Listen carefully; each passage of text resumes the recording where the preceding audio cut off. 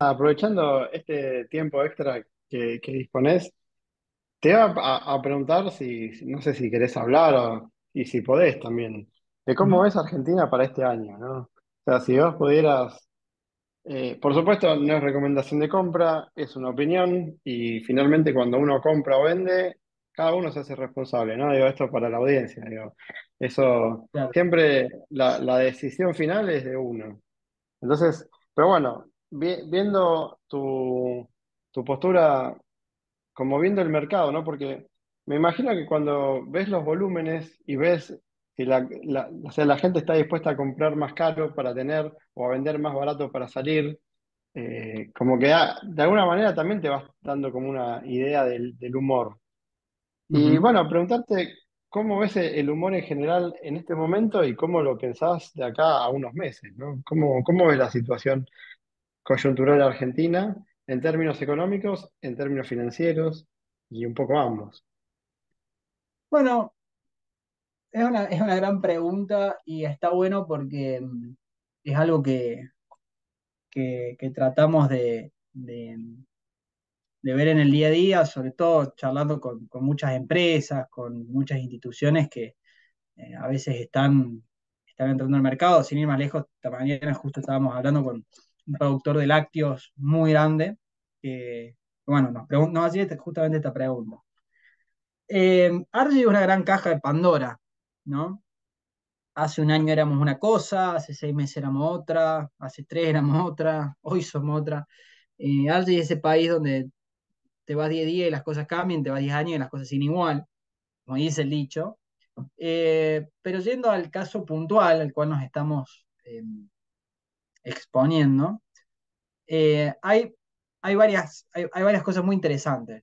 Me parece, por un lado, que Argentina está entrando en un proceso de, eh, de, suerte de recomposición idiosincrática, ha cambiado mucho, o al menos en, las elecciones estuvo claro que parte del pueblo, una, una, mayoría del pueblo, pidió un cambio en la dirección en la cual estábamos teniendo.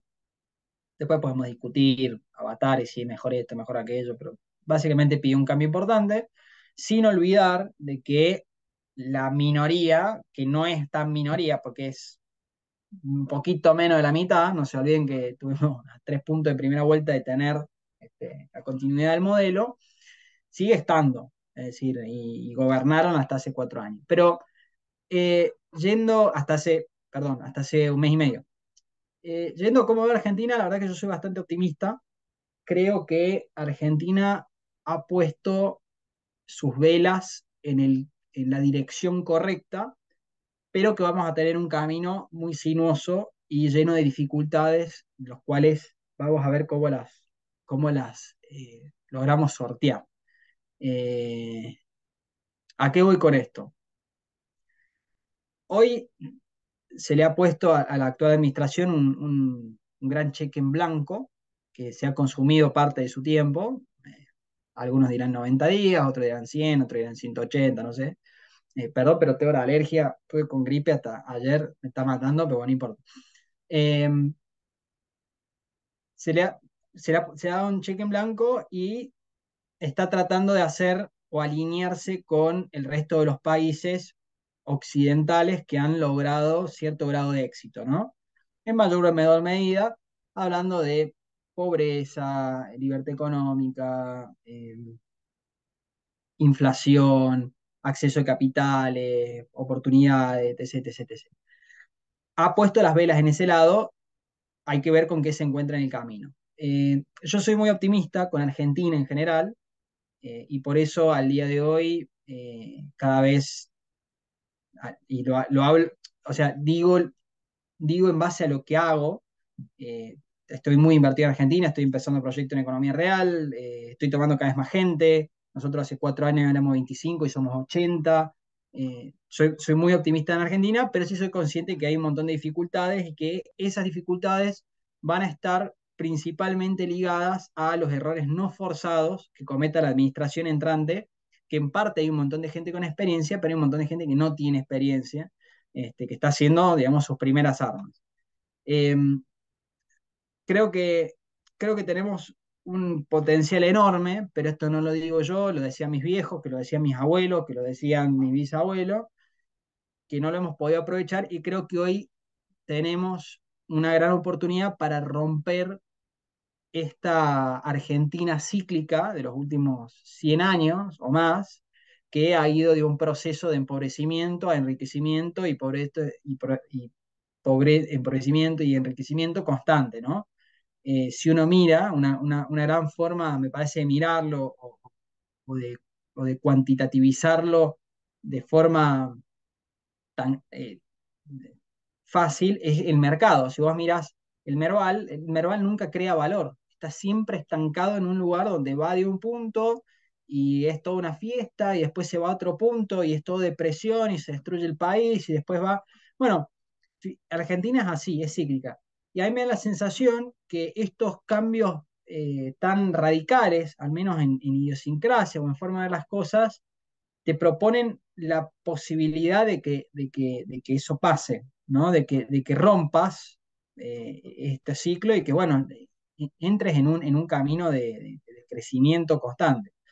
Yo creo que si me, si, me, vengo un poco más a lo micro, que tenemos una ventana de tiempo de unos seis meses, estoy hablando julio de este año, donde si los cambios realmente profundos que se quieren llevar adelante y las consecuencias de esos cambios no se empiezan a ver, este, hasta julio vamos a tener un problema muy grande. Es decir, voy al revés, si logramos hacer cambios y se, y se pueden implementar y realmente hay acompañamiento por parte del pueblo, porque ese es otro problema, que no te acompañe el pueblo en los cambios, como fue en el gradualismo de Macri, que si quisiera hacer cambios se estiraron demasiado, no llegamos.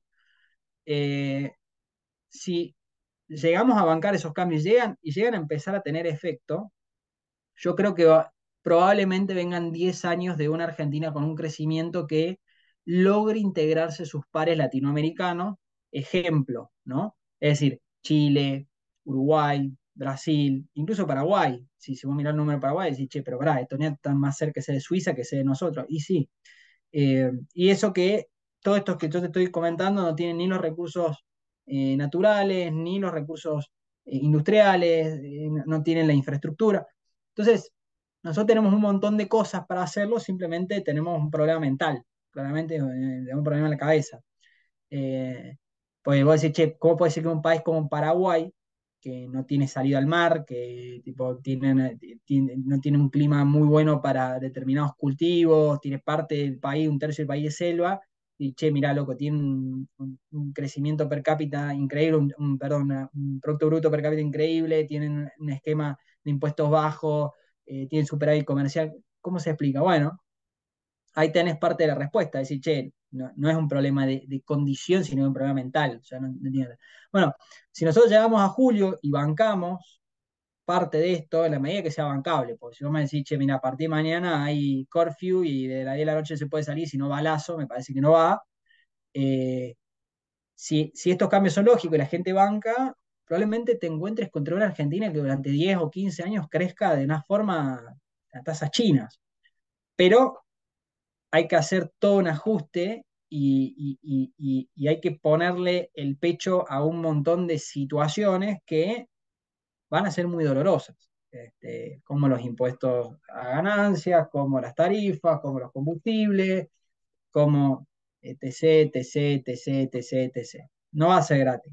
Eh, eh, probablemente el estilo de vida de muchos se aminore y probablemente lentamente el estilo de vida de muchos, perdón, el estilo de vida de pocos se aminoren y probablemente el estilo de vida de muchos empiece a mejorar, eh, que todavía no se va a ver y por los próximos meses no se va a ver, pero sí creo que si seguimos en este sendero de acomodamiento, y acomodamiento en serio, no la pelotudez de, bueno, no, arreglo un subsidio, eh, probablemente tengas un sendero de crecimiento bastante genuino. Habiendo dicho esto, creo, soy muy eh, optimista con inflación.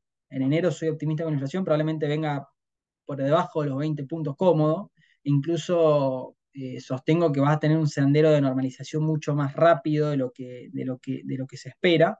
Si vos mirás lo que el mercado te está, lo que el mercado está diciendo, eh, básicamente está prediciendo un caos y la destrucción de la, matriz de Argentina. yo creo que no va a ser así y que va a tener un acomodamiento. De nuevo, me parece que por otro lado hay un montón de cuestiones que se están sobreestimando y que el mercado está netamente optimista con ellas, ¿no? Es como que hay una incongruencia. Pues. Por ejemplo, los bonos, no sé, no paran de subir, las acciones no paran de subir y demás. Bueno, me parece que en algunas cosas estamos medio pasado rosca, pero en el fondo creo que eh, en el largo plazo, te estoy hablando del próximo año, debería ser muy bueno, salvo que nos encontremos con una gran curva. ¿Y qué puede ser una gran curva? Puede ser una curva no forzada, una pandemia, una sequía, un, no sé, un, eh, qué sé yo, un tornado, un volcán, un aerolito, o puede ser un, problema forzado donde, no sé, presidente del IRA y raja todo el, Ministerio de Economía. Y pará, flaco, tipo, son, los número uno. No, bueno, porque caputo, qué sé yo. ¿Me entendés? Que estás expuesto a eso.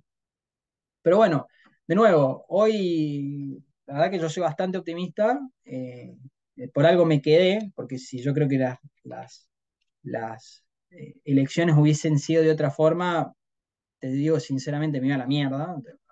La verdad que no tenía más ganas de, seguir renegando con eso. Hoy le pongo una ficha más. Eh, lo cierto es que si falla todo esto, no van a haber muchas opciones porque lo que a mí me da miedo es que volvamos en un sendero de crecimiento, sea un ciclo y después volvamos a decir, no, bueno, pero no eran tan malos entonces, y volvamos de nuevo a un sendero de decaimiento, el cual no quiero que mis hijos se críen en eso, no quiero que sigan puteando contra las cosas que ya puteaba mi viejo, contra las cosas que ya puteaba mi abuelo. Entonces digo, bueno, tenemos la chance. Quizá soy un daydreamer que, está que sueña con que esto va a cambiar y que vamos a romper para arriba la resistencia, me estoy poniendo en la lista técnico, rompe la resistencia y sigue para arriba. Este, pero, pero bueno, no, me queda otra tampoco, ¿no? Porque si no creo yo, ¿quién carajo va a creer? O sea, tenemos que creer todos juntos. Ese es el punto. Sí, totalmente. Bueno, de, hecho esa es una posibilidad, ¿no? Que rompa, rompa resistencia y arranque la onda 3 finalmente de la gloria. Y ahí ah, vos comentabas algo que yo también lo escucho y que también lo siento, ¿no? Como que van a ver, así como los cohetes llegan a un punto cuando están levantando vuelo, que es el punto de presión máximo, que es, es como la prueba de fuego, digamos. Si pasa eso, ya las chances de que se destrone el cohete ya son mínimas. Posibles, pero mínimas. Acá, ¿vos identificás el punto de presión máximo cuándo puede llegar a estar? ¿Y cuáles son los posibles puntos de presión que va a tener en los próximos seis meses el gobierno? Bueno, ¿vos decís punto de que, de que, de que, de que huele? sí, o, que nos hagamos mierda, digo. En, realidad... claro, de, que explote. Mira, yo, yo creo que va a estar netamente ligado a, a, la calle, a la gente. Em, algo muy bueno, que no sé si, hablando con colegas, no sé si se nota rápido, fácil, es que fíjate que tuvimos un, un diciembre muy tranquilo que suele ser un diciembre, los diciembre suelen ser caóticos, sobre todo en procesos electorales. Si vos mirás los diciembre de los últimos 20 años, fíjate 2001, fíjate 2008, fíjate 2014, 2013, eh, fueron todos caóticos. Era todo un quilombo, tipo, si no tenía cuartelamiento de la policía, estaba desaparecido el Estado, eh, todo caótico. Y pese al cambio radical que tuviste en Argentina, con tanta con tanto ida y vuelta, que las paso, que las primarias, que las secundarias, fuiste un diciembre muy tranquilo, atendiendo a la devaluación que tuviste, a la caída, de, a la, caída del salario real, a la caída de, del poder adquisitivo. Tuviste un diciembre muy tranquilo. Que eso es algo que hay que resaltarlo. Yo lo que pienso es una cuestión de la calle, de cómo está la gente. Eh, si vos no lográs domar la inflación, eh, para marzo, si no estás abajo de un dígito en marzo o en abril, va a tener un problema. Si tu brecha está en 50% en 3, 4 meses y no vas a un esquema de unificación cambiaria donde empezás a liberar a, lo, a, la producción, a la importación, a la exportación y no fijas eh, un cambio donde te empiece a entrar guita, que en definitiva eso se va a ver en el elevamiento de las condiciones de la gente, va a tener un problema. Si, la gente hace el esfuerzo y dice, bueno, vamos al ajuste, vamos a cambiar, vamos a, por este camino de sendero de libertad, pero no empieza a ver en dos, tres, no te digo dos, tres, pero pone cuatro o cinco meses que eso cambia y la, la cosa te va a poner muy complicada. Si vos seguís con, el, con, con este esquema, este, eh, va, a tener un, va a tener un problema, va a tener un problema. Ahí sobre el tema de las leyes que están proponiendo, ¿no? En el tema de las leyes, eh, la ley bases y bueno, y el DNU. ujú, Hay como quizás una omisión, en general escucho eso, que tiene que ver con la parte tributaria, ¿no? Tiene que ver, por un lado hay un montón de, de liberación y que me, parece que, que estamos todos de acuerdo, creo que la mayoría, el consenso en general está de acuerdo en que tiene que ser así, y de hecho termina pasando que empezás que ver, a ver que los precios se empiezan a acomodar. En un momento la gente entra en pánico, te suben los precios de todo, pero después cuando venden, ven que no venden, empiezan a recular. Yo en, en ese sentido siempre no soy de demonizar al que pone un precio alto. Es una empresa, pone el precio que quiere y yo como consumidor decido si voy ahí o no. O si lo compro ahora o, o- o no lo compro ahora. Pero claro. preguntarte ahí en la, en la parte tributaria, si, si ves que esa omisión es parte necesaria en este momento o, o si hay algo más en el medio. ¿Cómo, cómo ¿de, lo de notas? qué, de qué omisión, de, vámonos, de cuál me, de cuál me decís? Yo me refiero a la parte tributaria, o sea, la baja de impuestos, por ejemplo. Mirá, la, la ¿Cómo de notas eso? la, la, yo creo que es un momento donde no sé si tenés tanto espacio para hacer una baja de impuestos. Eh, vos tenés que, a ver, yo entiendo la postura de la persona que como vos, como yo, que pagamos todo impuesto y te dicen, che, pero pará, vinieron estos nietos y dijeron que no nos iban a matar más impuestos y de repente tenés más impuestos o tenés otra forma de impuestos. Bueno, ahí yo te diría, me da la sensación, ¿no? mirándolo afuera y como pagador de impuestos, que vos hoy estás en un lugar donde tenés que hacer el ajuste fiscal, es decir, tenés que llevar las cuentas a que te den cero, es decir, no tenés que dilapidarte la, la guita. Ahora, la pregunta es cómo haces para no dilapidarte la guita. Tenés o el camino de, che, empiezo a consumir menos, pero también te pasa que si vos dejás de recaudar, es cada vez más difícil llegar a ese menos y va a tener que recurrir a los otros problemas que te lleva la no recaudación, como es la financiación a través de emisión. Entonces, digo, estoy tratando de pensar como, como, como piensa el gobierno. Digo, mira, ok, yo recaudo X con este esquema que está acá y yo quiero ir a cero, ¿ok? Si yo hago todo el ajuste necesario para ir a cero con este nivel de recaudación, llego a cero. Tengo que recortar subsidios, tengo que recortar esto, tengo que hacer esto, bla, bla, bla, bla. Ahora, si encima de eso tengo que castigar la recaudación que naturalmente se va a caer por la baja de actividad, porque vos también estás recortando gasto en obra pública, en, sector público, que eso es consumo, entonces se te cae la actividad, por lo tanto la recaudación se te cae desde el lado de la actividad y no desde el lado de la cantidad de impuestos, bueno, es cada vez más difícil. Entonces, voy a decir, bueno, pará, lo que yo pueda recaudar lo sigo recaudando, ajusto y una vez que vaya al superávit, de, de, al, al, superávit fiscal, yo ahí empiezo a recortar impuestos. Es decir, la idea del Estado, el Estado tiene que ir a cero, no, no tiene que ni ser superavitario, porque significa que está recaudando más de lo que necesita, y no tiene que ser deficitario, porque lo tiene que financiar de alguna manera, ya sea vía emisión o vía deuda. Deuda no puedes tomar porque son gil y quedaste afuera de los mercados, pues son termo, entonces, tenés que ir a emisión. La emisión te lleva a inflación como parte de sus, de sus consecuencias malas. Bueno, listo, ¿qué haces? Este, mantenés la recaudación, ajustás el Estado y cuando llegues al superávit empezás a recortar, empezás a hacer este balance. Decís, che, mira, corto el superávit en pos de que esto se lo quede el privado, no el Estado. Pues yo tengo superávit, tenés dos opciones, o te le la pirada, boludeas, o sos Noruega, que tiene un fondo gigante, pues tiene superávit por todos lados no somos Noruega, no tenemos idiosincrasia, bueno, probablemente vayas por ese signo. El tema es este, y esto que yo te hablaba recién hace un rato, va a ser muy difícil eh, atajar los cambios y, ponerle el pecho a esto que estamos queriendo llevar adelante. Porque mucha gente votó el cambio, pero creo que pocos sabían de lo que se trataba el cambio y que viene en parte en mano de esto que decís vos, che, pero ¿qué pasó con lo, con lo, con lo fiscal? Bueno, lo fiscal va a ser una de las probablemente últimas cosas que se toquen cuando ordenen las, las cuentas fiscales. ¿Ok? Vos me dirás, eh, pero macho, me dijeron me iban a bajar de impuestos. Sí, claro, pero no es mágico, porque si vos haces eso, el Estado se te quiebra y volvés al 2001. Es, es, es tenés que elegir, es tipo, elegí tu, elegí tu batalla. ¿Hay otra forma? La verdad no sé. No, no, no soy ministerio, ministro de Economía ni nada, soy un simple trader, aprieto botones. Eh, pero lo cierto, lo cierto es que no es fácil. No, no, no es fácil para mí.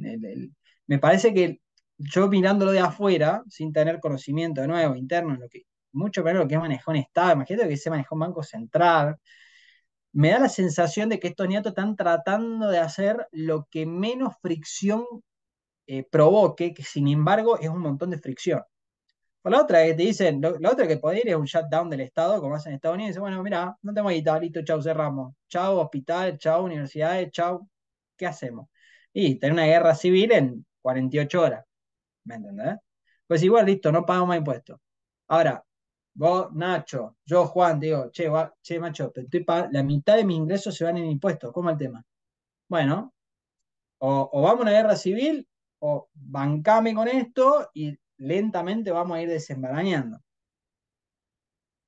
Es un gran signo de pregunta. Entonces, ahí está el, che, Nacho, Juan, ¿Estamos dispuestos a bancar seis meses así o cuatro meses así? Y sí, eh, y un año más, un año menos, iba a ser más o menos lo mismo.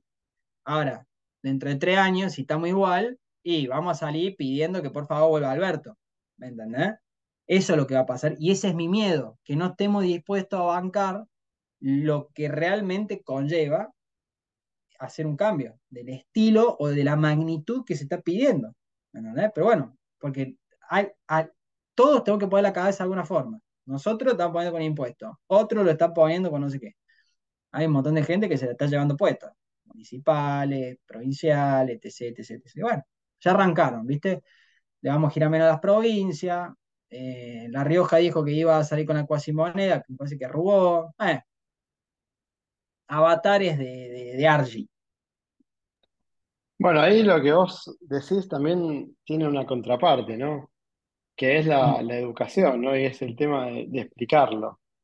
Porque cuando te lo explican es como que también lo entendés. Vos decís, ok, mira, vos ahora estás siendo súper didáctico, te estás entrando en un montón de terminologías que yo comúnmente no las escucho. No es como decir, mira, eh, el tema es, hoy por hoy, de base tenemos un montón de gastos, ¿no? Estaba escuchando y, y atendiendo y digo, bueno, hay un montón de gastos.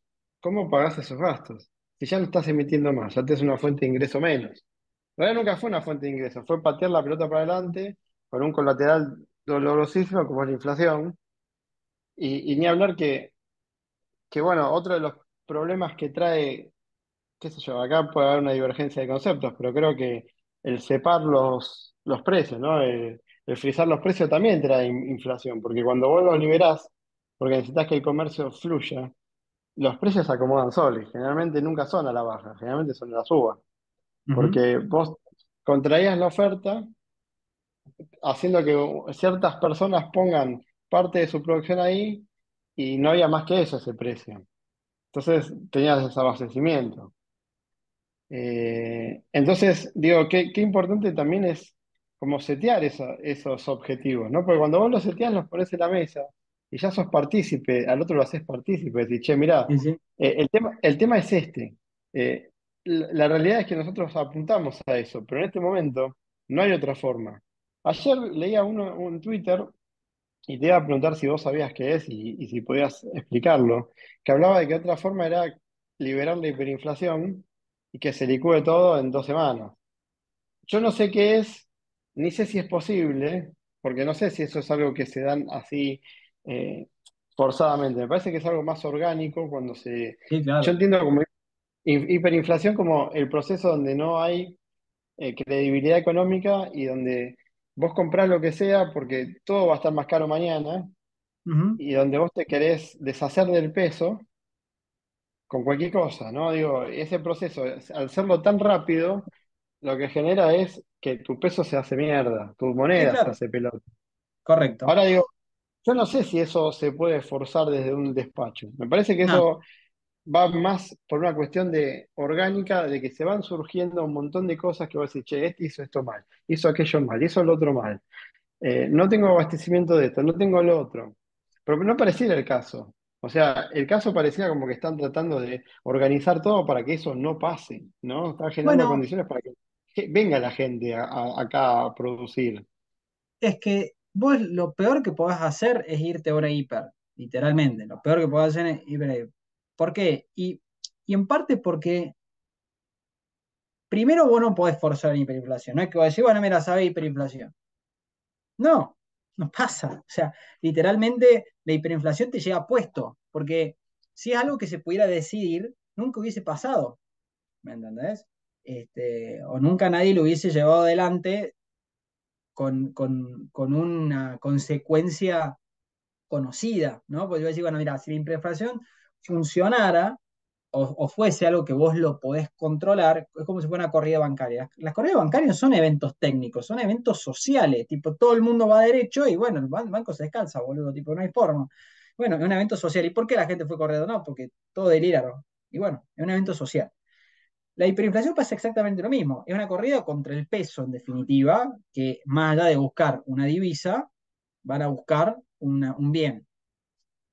Entonces, ¿qué pasa? Vos no podés tener hiperinflación, al menos la sensación que tengo yo es que no tenés la suficiente guita dando vuelta para que eso ocurra, en primer lugar. En segundo lugar, es una economía que cada vez tiene menos excedentes, con todo este proceso de ajuste que has tenido, no tenés excedentes en la economía. Te pregunto, ¿por qué el dólar no se fue a 2.000? Decían, no, bueno, va a asumir Macri y se verá a 3.000 dólares. ¿Por qué no se fue? ¿Por qué vale 1.200 y, por ejemplo, hoy bajó?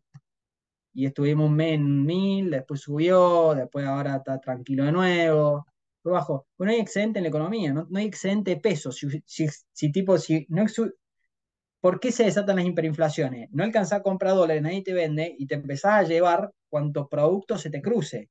Y no hay excedente de peso. ¿De dónde lo vas a sacar si no hay excedente de peso? Si cortaste la emisión, no tenés inyección porque se te cayó la actividad, no tenés, no tenés forma que eso pase.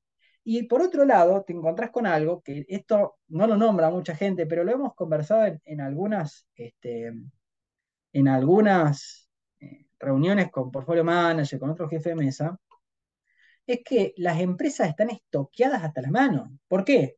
Porque se verían los procesos de elecciones, decían, che, no sé qué carajo va a pasar, me voy a estoquear, me voy a estoquear, estoquear, estoquear, estoquear, estoquear, estoquear.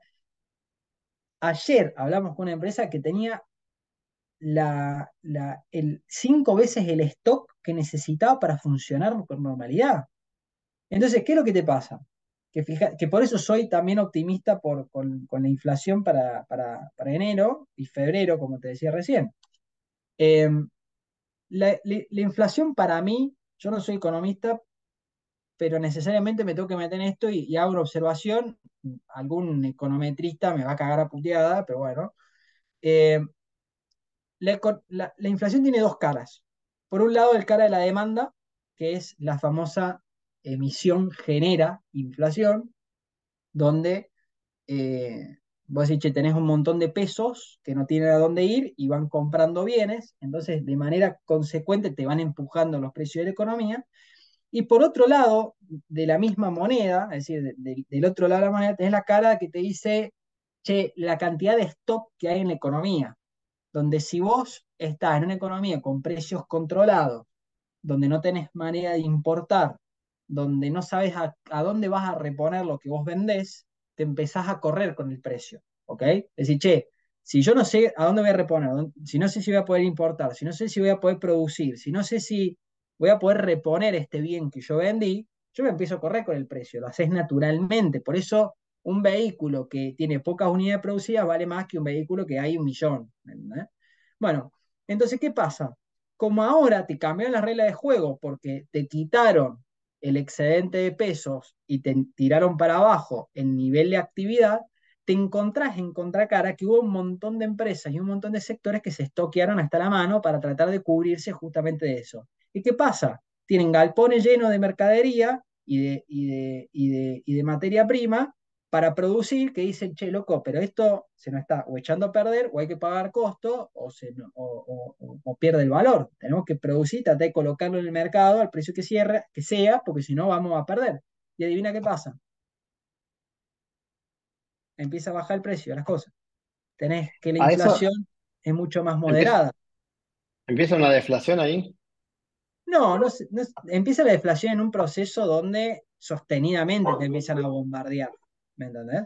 Pero la, lo cierto es que lo que te va a empezar a pasar es que va a desacelerar la inflación y probablemente vayas a, abajo de dos dígitos en, muy poco tiempo si vos mirabas las encuestas, o al menos las consultoras, hace tres meses, todas te decían, no, bueno, la inflación va a ser de él eh, para enero, febrero, 40%, decía, 30%.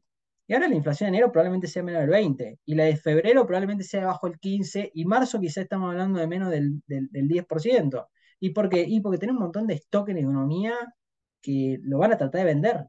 ¿no? Tratar de vender, tipo, y, no hay excedente en la economía. Es más, hace, hace una pequeña prueba, anda a cualquier concesionario de auto y decir dónde te dejan los precios de lista. Hace, hace dos meses atrás, todos te vendían con sobreprecio, ahora te los venden con descuento. Porque pues las fábricas armaron las trastetas, compraron las trastetas y ahora se encontraron con el problema de que no hay excedente en economía. Entonces, probablemente los márgenes de muchas empresas bajen en consecuencia de esto, en detrimento de que baje la inflación. Este, y, y vos decís, bueno, y, de repente lo que decís, che, pero pará, es medio difícil que se arme la inflación. Y claro, maestro, pues tenés la economía estoqueada hasta la mano y no hay excedente. No tenés excedente de nada, no, tenés atrás una bomba de peso que te boom, boom, boom, boom. ¿Me entendés? Y bueno, va a empezar a desacelerar. ¿Y cómo desacelera? Y bueno, a, martillazo. ¿Querían bajar la inflación? Vamos a bajar la inflación, pero bueno, va a ser a martillazo va a caer la, va a caer la, este, la actividad, va a caer la, el, estándar de vida de la clase media, pero bueno, si vos acomodas la inflación, después podés empezar a dar otras mejoras, puedes volver el crédito hipotecario, eh, mejoran los salarios en términos reales, eh, empieza por otro lado la mejora que trae bienestar. Pero bueno, martillazo, ¿qué es lo que hablábamos recién, Nacho? Va a tener que tomar un montón de medidas que no le van a gustar a nadie, que le va a romper la cabeza a un montón de gente, no es gratis. Cuatro años de boludear no son gratis, hermano. Entonces, bueno, hay que, hay que ajustarlo. ¿Cuál es el problema? Que no tenés cómo. No tenés cómo. Tenés que tomar este tipo de decisiones. Parte de la idiosincrasia del argentino es creer en soluciones mágicas. Que esto de, bueno, piso los precios, emito y no pasa nada. Y bueno, acá estamos.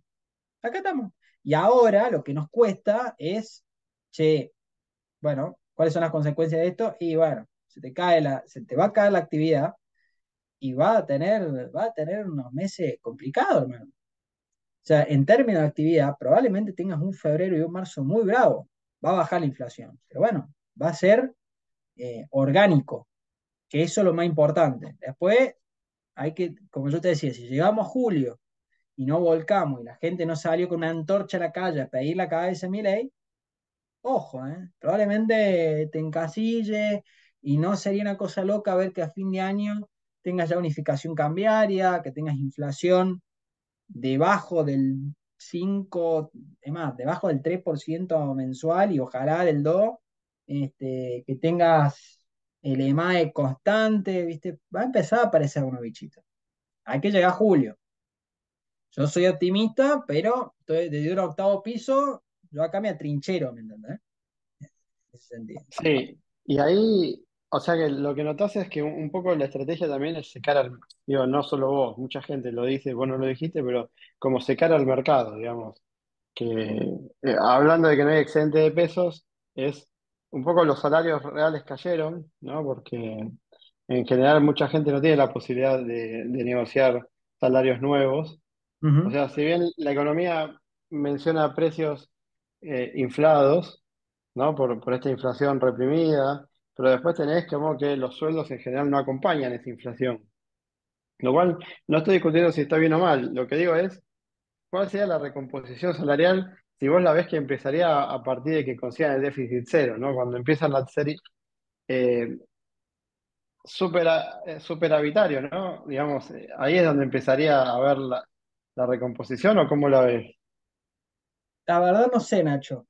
La verdad no sé. Eh, yo creo que, yo creo que la, recomposición salarial va a venir de la mano, más que de una cuestión netamente fiscal, de un proceso inflacionario eh, coherente a un país en crecimiento. Acuérdate que los países en crecimiento son ligeramente más inflacionarios que los países estables, eh, por la cuestión de crecimiento, de demanda de dinero, etc. etc. y que al mismo tiempo con niveles de actividad también de un país en crecimiento. Lo que acá prima es si la actividad privada crece o no. Y si vos mirás un gráfico de Argentina, hace 10 años no crece actividad privada, el PIB per cápita es cada vez peor. Entonces, vos cuando, cuando te abrís al mundo, permitís la libre exportación, no le pagás 25 centavos de dólar por el producto que vos vendés afuera, si afuera lo vendés a uno y vos recibís 25, entonces generás incentivos cruzados.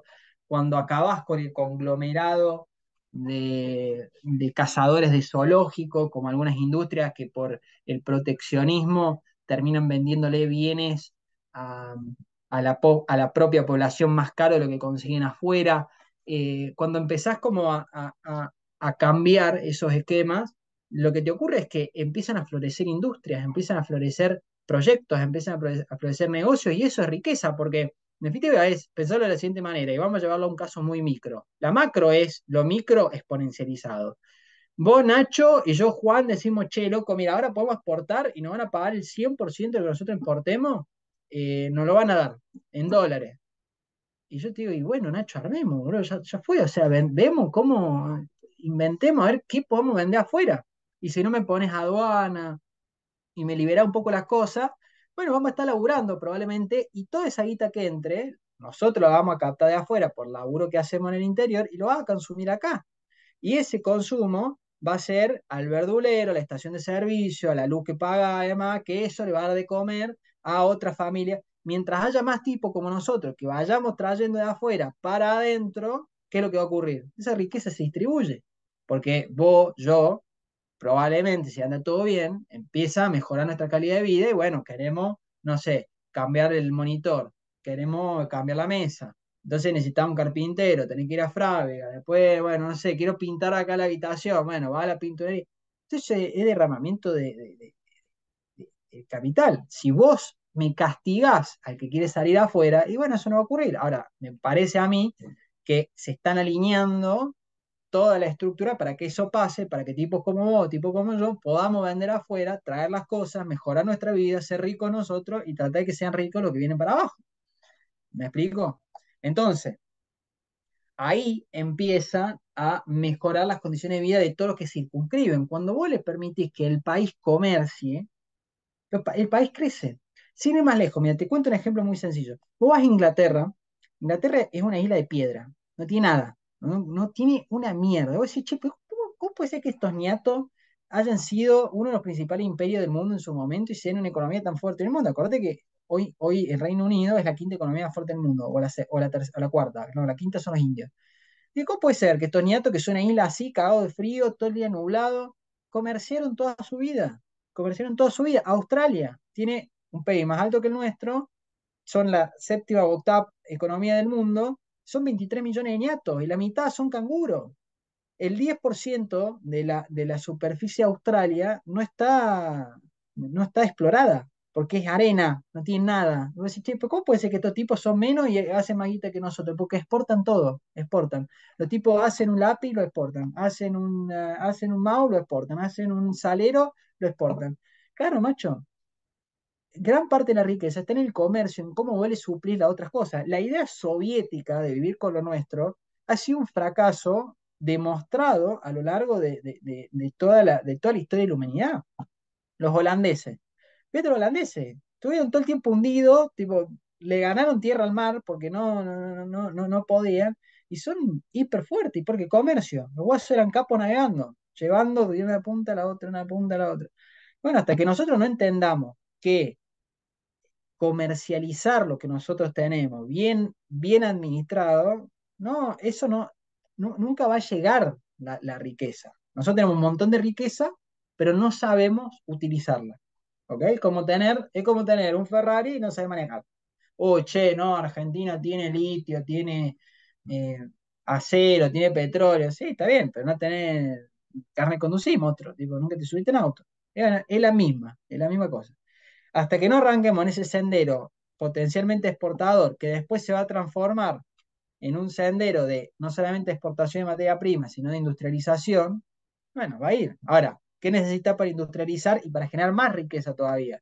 Necesitas bases coherentes para que los tipos que quieran hundir 10 millones de dólares y 10 años para armar una fábrica acá, tengan los huevos y la gana de ponerlo, porque si vos hoy me cambia el gobierno, que es liberal, y en cuatro años vuelven, vuelve Moyano y me toma la fábrica, no es un negocio. Yo tengo 10 palos verdes, ni en pedo lo pongo en Argentina, lo pongo en Paraguay, que pago el 1% de impuestos y tengo bastante estabilidad macroeconómica. Tengo el 6% de inflación anual.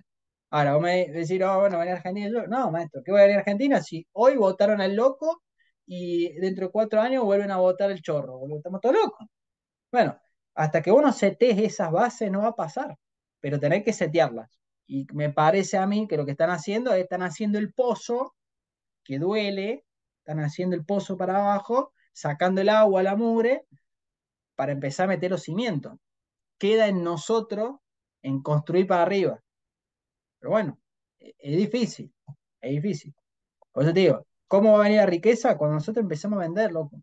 Cuando nosotros empecemos a vender y, se generen los incentivos para que eso ocurra. Impositivos, cambiarios, eh, políticos, y te diría, el gran problema que tiene Argentina en esos términos se resumen en una sola, en un solo juego de frase, que es trascendencia institucional. ¿Y a qué voy con la trascendencia institucional? Vos vas a Chile, vas a Perú, vas a Paraguay, vas a Uruguay. El presidente del Banco Central, el mismo hace 25 años, 40 años, gobernó la derecha, gobernó la izquierda, gobernó arriba, gobernó abajo. Es siempre la misma institución con la misma política, con el mismo lineamiento, con el mismo objetivo. Bueno, podés tener en un país, y en ningún país desarrollado existe esta idea de que, bueno, cambia el signo político, cambian las instituciones, cambian cómo se administran, cambian la discrecionalidad de esas instituciones. Nosotros somos los únicos seres en el planeta Tierra que hacen esto. Nosotros y en la Antártida, probablemente porque no es de tierra nadie. Bueno, pasa eso, no tenemos trascendencia institucional.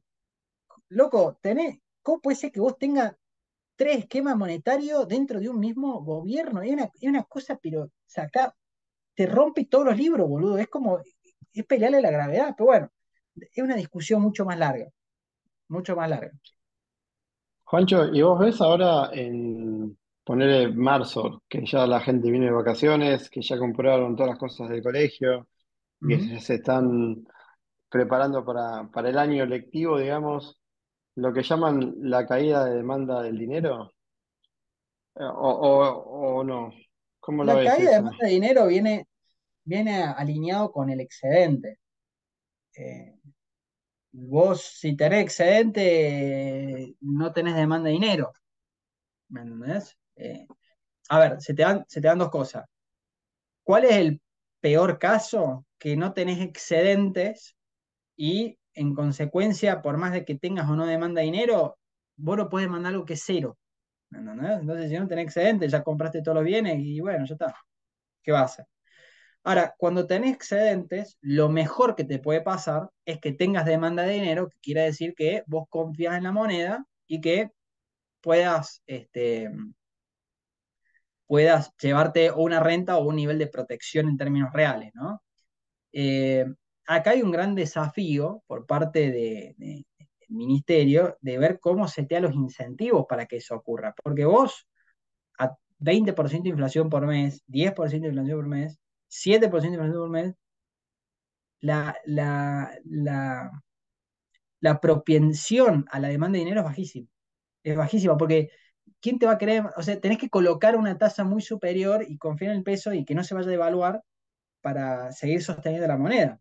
Entonces, la demanda de dinero va a aparecer en la medida que vos acomodes la inflación. Si vos llegas a marzo con inflación del 10%, del 8%, ponele, hay que salir a festejar en la calle, porque lo, que te está hablando es que hay demanda del dinero.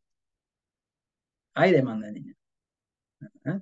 Este, yo creo que lo que justamente se está dando es que el dinero existente se está utilizando para otras cosas que no son excedentes porque se te cayó la actividad y por eso tenés demanda de dinero. Claro, claro, claro. Sí, eso sería como la recesión, ¿no? Lo que está pasando. Cayó la actividad económica. Es una contracara, es una, es como decirte una consecuencia de un evento negativo, una consecuencia positiva. Bueno, ahí recién mencionaste el tema de los autos, ¿no? Y lo que me comentaban el otro día es que los autos medidos en dólares están muy caros. Y ahí lo escuchaba a, Carlos Maslatón que hablaba como que Argentina está teniendo inflación en dólares. Sí, claro. ¿Qué, opinas de eso? ¿Eso es un efecto no deseado pero necesario? ¿Un colateral sin más o...? Bueno, a ver, caro, barato. Nosotros los argentinos sufrimos de un problema que viene por los altos niveles de inflación y demás, que viene de la mano de mirar todo en términos nominales, ¿no? Es decir, che, yo te digo dólar en mil, vos me decís es barato. Yo te digo dólar en dos mil, vos me decís, no, che, este es caro. Estamos hablando en términos nominales y no estamos mirando en términos reales las cosas.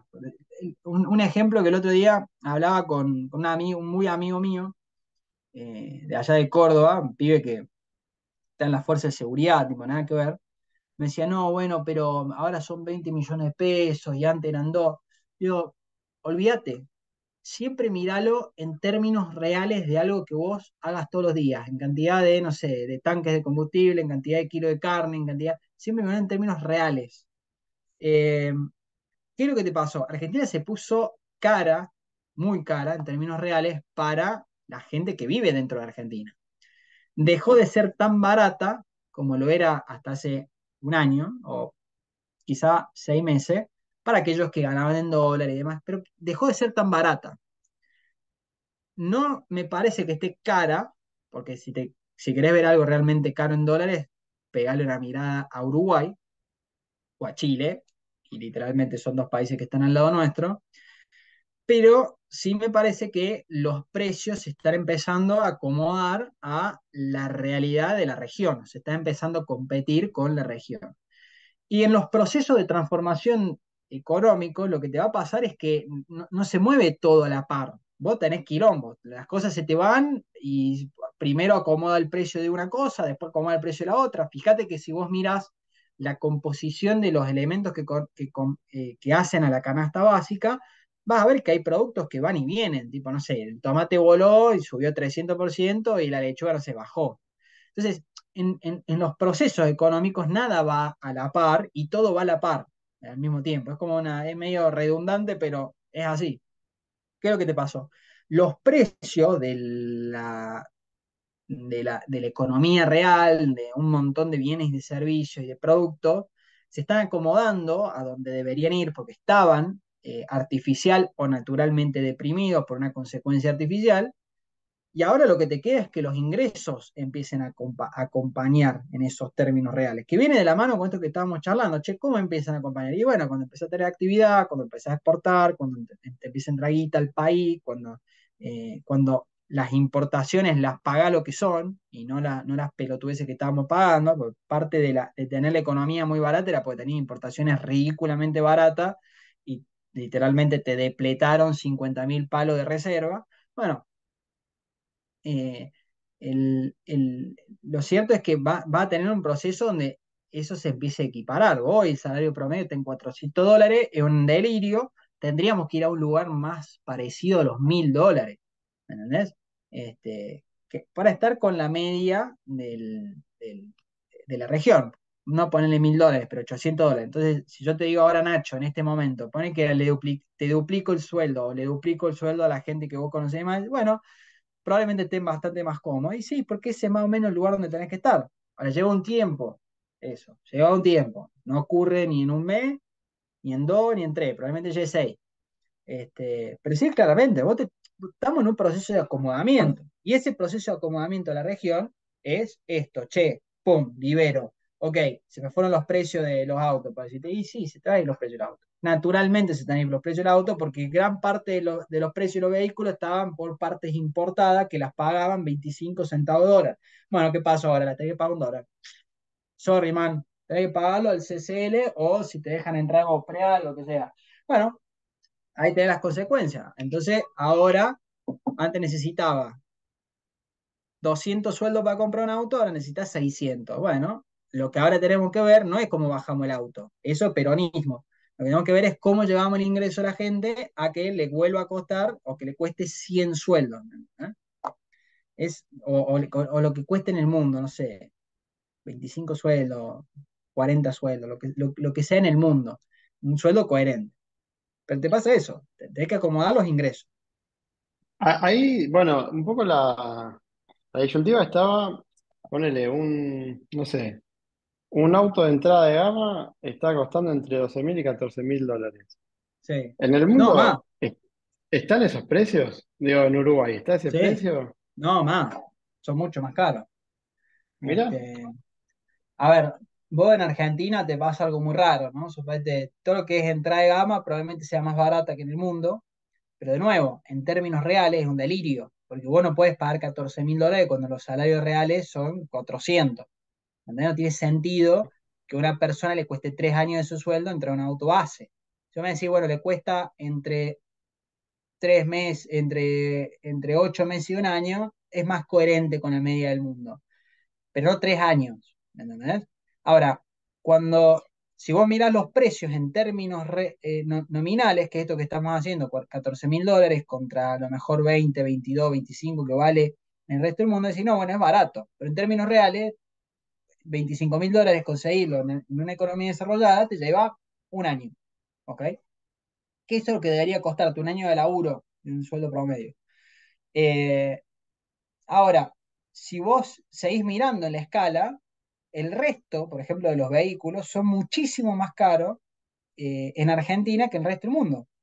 Por ejemplo, Audi, líneas, te estoy hablando de- del segmento medio para arriba, son más caros en Argentina que en el resto del mundo. Y de hecho, una particularidad muy interesante del mercado de, de- autos, no de alta gama, pero de media gama para, para arriba en Argentina, es un mercado que no, no cae nunca. Si vos mirás la- las métricas, a diferencia del resto del mundo, tiene la particularidad de que es como si son tratados como bienes de lujo, no, no, no, no caen nunca. Este, acá pagás cualquier vehículo de media o alta gama, lo pagás entre una vez y media y tres veces lo que vale afuera. Este, impuestos, sello, eh, sobreprecio, falta de competencia también, porque siempre tenés un dealer que trae eh, un vehículo en particular. Eh, pero sí, es una dinámica rarísima. Por eso soy tan fan de los usados. Nu- Nunca compré un vehículo nuevo. Nunca, nunca. mira, el tema del usado es, digo, toda la cuestión de repuestos, ¿no? Y, y la vida Depende, útil. depende, depende. Este, la, si vos, a ver, en ese sentido, uno tiene que ser muy pragmático, ¿no? ¿Para qué lo querés vos al vehículo? Si te querés que te lleve del punto A al punto B, no tiene sentido comprar un vehículo nuevo, salvo que tengas alguna demanda particular. Pero vos, por ejemplo, que compras un Toyota un Corolla, y el Toyota Corolla le podés hacer un millón de kilómetros, le tiró una bomba atómica arriba y sigue andando. Y un auto económico, no gasta nada, hay repuestos hasta la esquina. eh, cualquier nene de 7 años le, le hacen inyección, o sea, me parece que hay, mucho, hay mucho tabú alrededor de eso. eh, y que la verdad es que hoy, en, en términos de, por ejemplo, de repuesto, lo que sea, eh, hoy conseguí todo. Hablando, hablando netamente de autos, que yo soy un gran rompedor de autos, eh, hoy conseguí todo. Querés pedazo de lo que quieras, se consigue. ¿Qué pasa? Que es una paja buscarlo, tenés que encontrar mecánico, tenés que saber cómo buscarlo, bueno, pero se consigue. Yo siempre digo, si lo puedo hacer yo, lo puede hacer cualquiera. Entonces, nada, yo soy, yo, soy gran fanático de- de- de- del usado por una cuestión de depreciación. Vos el vehículo apenas lo comprás y lo pusiste la pata en la calle y ya vale 30% menos. Este, el primer kilómetro, es lindo, es tipo, sí, el olor, está todo impecable, va, pero eso dura dos meses. Este, eh, yo soy un gran fanático del usado, eh, porque me permite as- u- usar cosas que me costarían cuatro o cinco veces más, cinco veces más si lo quisiera comprar nuevo. Y estoy usando lo mismo. Este, eh, pero bueno, pasa que también a mí me gustan mucho los autos, los vehículos en general, tengo otra filosofía. Tengo dos, uno para ir a la pista y otro para usar en el día a día. Uno lo compré para destruirlo literalmente y al otro lo tengo como si fuera mi hija. Este, nada, son avatares de una personalidad un poco rara, ¿no? Juancito, eh, bueno, para, para ir cerrando, quería pedirte si, nada, la verdad, un- una charla hermosa con un montón de tópicos. La primera parte, el primer tramo de la charla fue introspección, hablar de vos. La segunda parte sobre lo que es el, la- lo, lo que es tu trabajo y lo que son las finanzas, pero desde una vista educativa, digamos, ¿no? No tanto como dar por supuesto las cosas, sino desde una tarea muy linda de compartir y que la gente entienda. Y lo- Eh, y, y también algo súper importante que siempre digo, con el tema de las finanzas vos lo dijiste y fuiste súper claro. Es un camino de, de tiempo, de tiempo, de, de conocer. Uno se la puede dar en cualquier momento, entonces hay que ser cauteloso, hay que conocer, o sea, ir como dando pasos donde uno también, ante la incertidumbre, ante el pozo, saber que no se caiga en un pozo muy hondo, ¿no? Y la última parte, que, que es interesante y que estoy pensando como que hasta podría ser un segmento aparte, eh, que es sobre la coyuntura ARGI, ¿no? Como se le dice en los mercados Argentina, ARGI. Eh, muy interesante, porque digamos esto escapa como al podcast, pero es un tema muy de interés para los argentinos. Y con una mirada también muy copada, porque yo, yo comparto esa mirada. Solo que vos trajiste algunas definiciones que eh, no se hablan mucho, como que se las dan por supuestas. Y que está bueno, porque cuando vos empezás a, entender los porqués, también sos parte de la solución. O mejor dicho, también te están invitando, solo, no solo pagar los platos rotos, sino también por qué lo estás pagando. Entonces, eh, eso está bueno, ¿viste? Como decir, che, bueno, gracias, Juancho, porque eh, cambia todo esto. ¿eh? No es lo mismo decir, yo pago solo los platos rotos, o no, mira, gracias a que vos pagás los platos rotos, esto se puede hacer posible, porque pasó esto, esto y esto. Entonces digo, el resultado es, es el mismo, pero como el proceso cambió, ya también va a ser la, el resultado de pagar los platos rotos, ¿no? Porque el proceso gen- general va a cambiar. Bueno, entonces, para, para finalizar, te, te quería pedir si, nada, si querías dejar alguna reflexión o algo que, que le quieras regalar a la, a la audiencia, más allá de todas estas, estas dos horas 40 impresionantes que, que van a estar en, en dos segmentos diferentes, pero la verdad está todo bueno lo que contaste, súper generoso. Eh, después, eh, también en la descripción voy a dejar eh, los, las formas de contactar con vos, si, si querés, tu Twitter Sí, claro. y, y todo lo que quieras, o sea, para también que te conozcan y se puedan poner en contacto con vos. Entonces, nada, como, como eso último que quisieras dejar en el podcast, Ah, si, es que tenés algo y que quieras compartirlo, ¿no?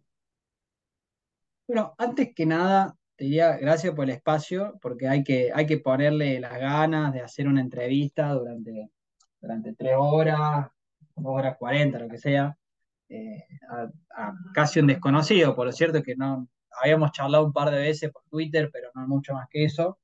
Eh, y bueno, en primer lugar, gracias, gracias por el tiempo. Eh, la verdad que está muy bueno que lo que haces, sobre todo atendiendo que lo hace de onda. Eh, no dudo que alguien venga y te diga, tomá, llévate esta guita para hacer esto. Y la verdad que hay, que tener ganas para hacerlo de onda. La verdad que admiro a la gente que le pone estos huevos porque, digo, consecuentemente te admiro a vos. Eh, digo, che, no, no, no se lleva nada con esto. Pero bueno, no importa, viene, viene, viene por otro lado la motivación. Eh, la verdad que para decir algo y, si llegaron hasta acá, porque hay- tienen que haber llegado hasta, hasta, hasta el vencimiento del, capítulo, es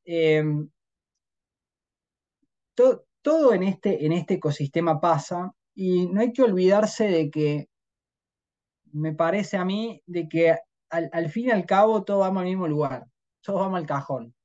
Entonces, no hay que tomarse las cosas a veces con, con, con, con tanto, con tanta importancia, ya sean económicas, ya sean financieras.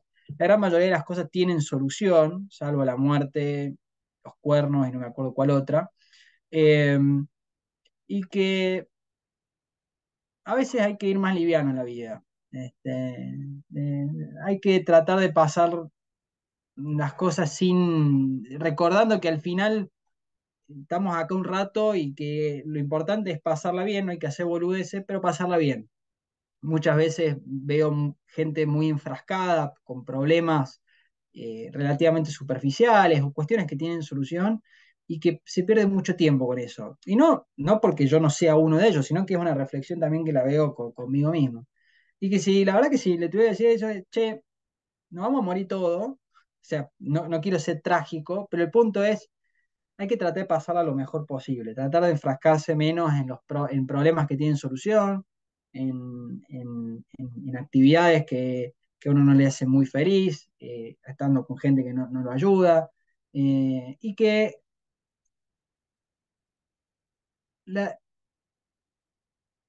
qué rico es, no, esta frase famosa cliché, que rico no es el que más tiene, sino que menos necesita, es totalmente cierto.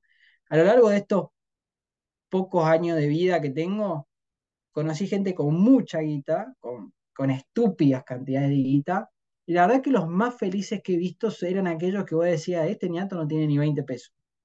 O sea, tipo de 200 palos verdes con huecos en el codo del, del, del pullover, tan felices. Tenían sus nietos, boludeaban, tenían su auto hecho mierda. Este, y vos decís, pero el que menos, el que menos tiene. Bueno, nada, muchos entramos en esta industria para hacernos ricos, y admito haber sido uno de ellos, y con el tiempo te das cuenta que la riqueza viene por otro lado, para tratar de estar bien, divertirse, hacer lo que a uno le gusta, eh, de nuevo, sin hacer boludeces. Eso es todo. Eh, digo, porque al final nos vamos todo el cajón, monstruo. Hay que tener hobby, hay que divertirse, cuiden a sus novias o a su pareja o al gato que tengan, no sé, lo que sea, eh, a la mascota. Hay que pasarla bien, divertirse. Y si uno no está bien, las cosas no funcionan. Eso es todo. Y si hacen algo, háganlo bien. No rompan la bola que tiene al lado. Eso es todo. Juancito, muchísimas gracias. Hermosa reflexión. Ah, ¿eh? Y gracias, gracias por, por estas tres horas. Bueno, a vos Nacho, éxitos y bueno, nos estaremos viendo en futuras entrevistas si, si todo anda bien, ¿no? Vamos, todavía, totalmente. Nos vemos, Juancho. Abrazo, Nacho. ¿eh? Chao, chao. Abrazo.